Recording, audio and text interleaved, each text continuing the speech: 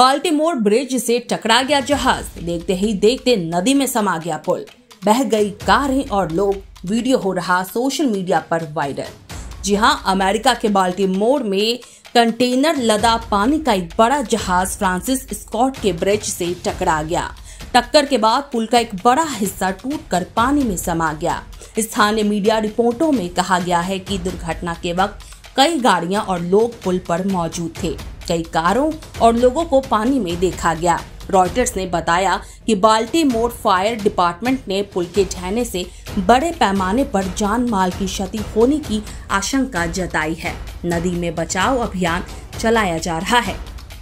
बाल्टी mode fire department के communication director Kevin Cartwright ने रॉयटर से बताया, हमें देर रात लगभग डेढ़ बजे इमरजेंसी सर्विस 911 पर कई कॉल्स आई, कि एक जहाज़ बाल्टीमोर में की ब्रिज से टकरा गया है, जिससे पुल ढह गया। फ़िलहाल इस दुर्घटना में बड़े पैमाने पर जानमाल के नुकसान की संभावना है। हम फ़िलहाल नदी में सात लोगों की तलाश कर रहे हैं। बाल्टीमोर के मेयर ब्रैंडन स्कॉट ने भी पुल ढहने का संज्ञान लिया और आश्वासन दिया कि आपातकालीन सेवाएँ घटना स्थल पर काम कर रही हैं।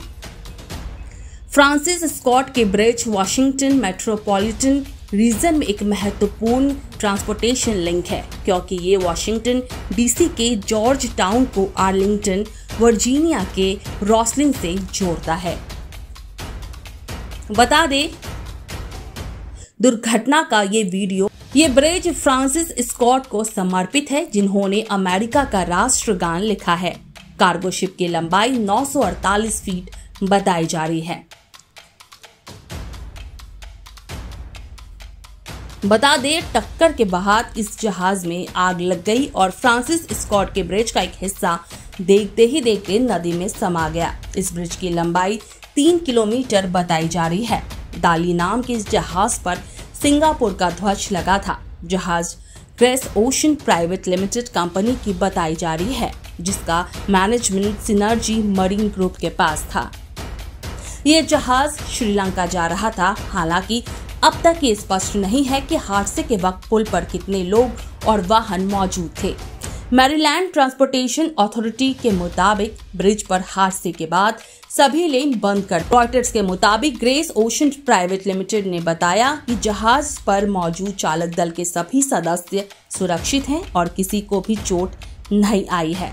जहाज़ पुल से कैसे टकरा गई, इस बारे में अभी कोई जानकारी सामने नहीं आई है। पटास्को नदी में इस समय तापमान 10 डिग्री सेल्सियस से नीचे रहता है।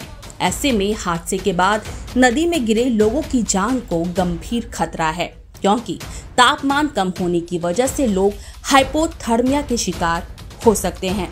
Bureau report, super news 24